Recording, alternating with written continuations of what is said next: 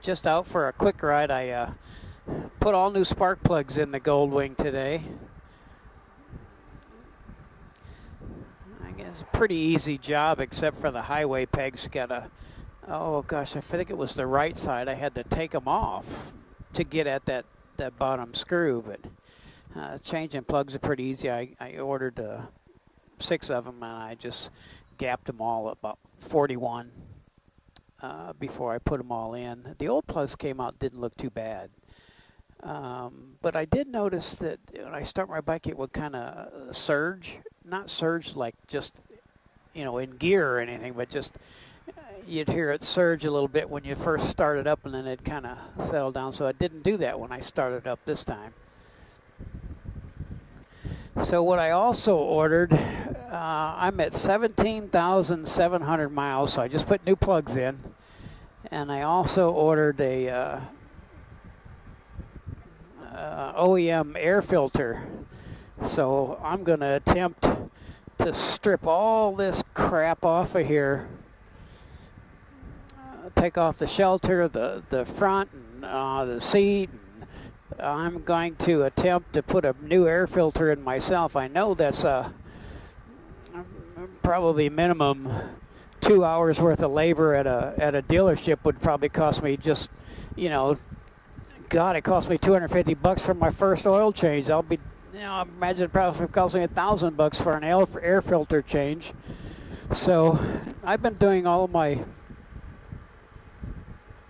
all of my own oil changes and pretty much everything. Uh, so I'm going to attempt to do the air filter change and uh, it shouldn't be that difficult, just time consuming, taking the entire shelter off uh, and just disconnecting a lot of electrical things. But it, I'm sure it takes a couple hours. I watched a couple videos.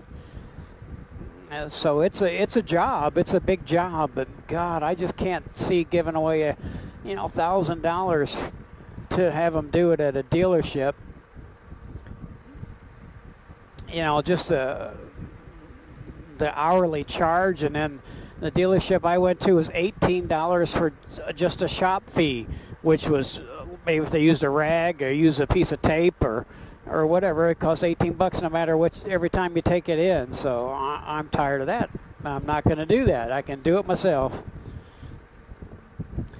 I put risers on this thing myself, took off this whole front end and put risers on. I put a belly pan on myself and uh, I have all the tools I need, so I'm going to just attempt it. I, I, I don't know if I'll, I might do some video of it a little bit or even, uh, you know, just try it. Just uh, part of the disassembly. It's just, uh, won't be that bad. The air, air filter is just right straight underneath this so it's going to be kind of fun to fun to do that. I like working on my own bike. I just I started actually I used to change all my own oil in all my cars, and now that I had to buy Rhino ramps, you know, for this, I've been changing all the oil in my cars again, and I just fill up the old uh, jugs, gallon jugs or whatever. Uh, you know, Walmart will take them, and they recycle it. So I take back the, you know, the Rotella jugs or the Mobil One jugs, and and uh, after I drain the oil, and and they take them, which is kind of nice. So anyway, I don't know when I'm going to tear into that. I just took a took a spin tonight just to just test out the new spark plugs, and everything's perfect. Those little rubber things in those uh, in those hex heads I got most of them on, but the two back ones, they're just, it's so, they're just so hard to get in. They don't go in straight, and God, it's just a pain, so I left those off. And I'll see how it's at apart. If it fills up full of dirt or whatever, then I'll get a little X-Acto thing and dig out the dirt.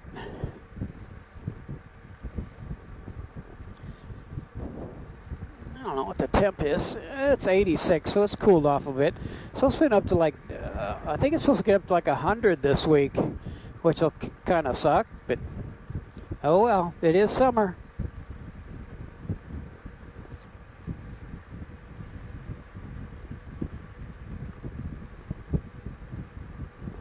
Anyway, I guess that's all for now. I'll uh, turn on a little bit later if I have anything else to say. Bye. You know, just kind of riding out in the boonies a little bit. I got my shield open. I can't close it. It's just no air. I can't I can't close my shield, but got it open open a little bit more. Maybe it won't be so noisy. Anyway, I mentioned earlier in this video that I do all my own oil changes and pretty much everything on this bike now since I did the, the original 4,000 mile oil, oil change it and check at the dealership. I've been doing it all myself. But I do uh, keep good records. I write it in the owner's manual. There's a there's a place in there to keep records of all your oil changes and and I'll actually have to write down in there uh, did the spark plug change and the air filter change too. I don't know why. Just probably to keep the keep the warranty, which probably doesn't mean anything from the experiences I had. So, but anyway, take care of my bike myself and keep it in good running condition. I'm kind of thinking the uh, air filter's not that bad because uh, I don't ride in any dirty conditions, but I know things blow up in there. I've had butterflies blow up underneath the inside here, and I've gotten bugs inside my speaker grills, and they come in from underneath. So I'm thinking, well, maybe those air dams are sucking in some bugs and some dirt too. So I don't know, it's time to change it and see what I come up with, see what it looks like. I'll probably Ooh, there's some nice hay out there. It looks brown though. Doesn't look very green.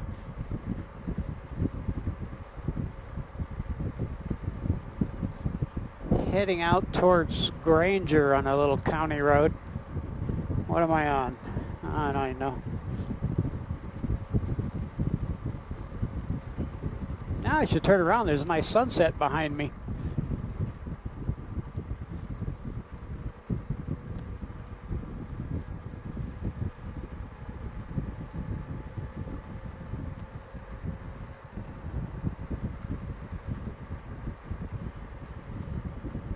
kind of nice out though. It's actually, oh, it's 88. It was 86. Warmed up a bit out here.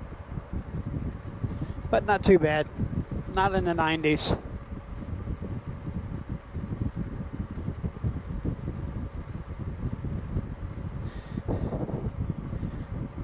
I put the bike back the back together after I changed the plugs and fired it up. I was hoping everything would fire. All cylinders would fire and they're fine.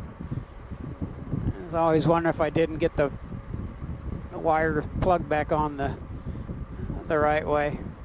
Get new plugs, you really got to tighten them pretty tight because you got to squish that, uh, oh, what do you call it, uh, crush washer, squish it in there so it seals up. Just like anything.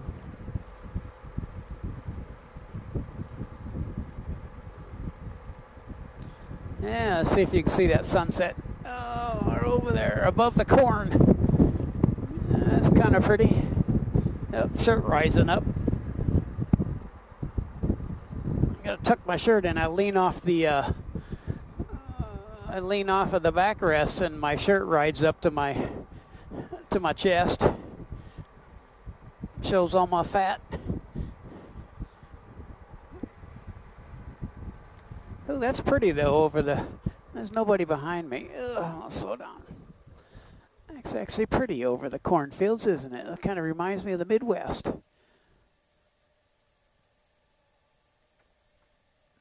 Yep, down behind a tree now. I should have stayed back. Well, the cornfields east to 35 here and the and all the pasture land just totally reminds me of the where we grew up in the Midwest.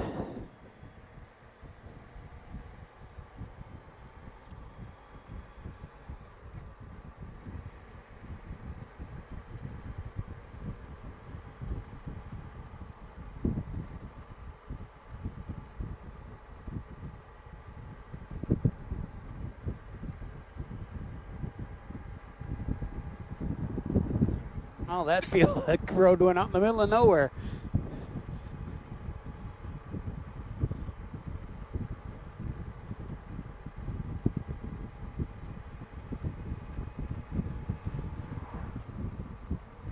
Should turn around head back into that sunset.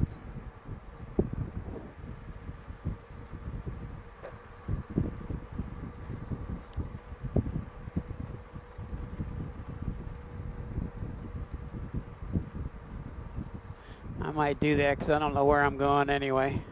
There we go. Turned around. I don't want to go too far. Yep, it looks like it's set over that hill a little bit. Just missed it. Got a little bit up here. No clouds, so it's just kind of a pretty sunset.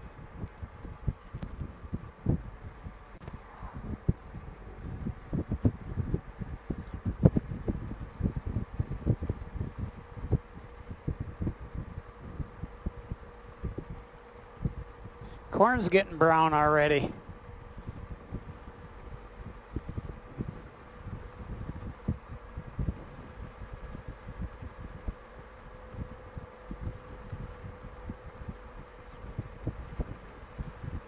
Doesn't get as big here as it does in the Midwest. In the Midwest, it, gosh, it'll get seven, eight foot tall. Here, I don't think it gets six foot tall. Probably doesn't produce a whole lot of corn either. Yeah, it doesn't get, uh, it might be about six foot tall. It's not, some of it's pretty big. Had some pretty decent rain this year.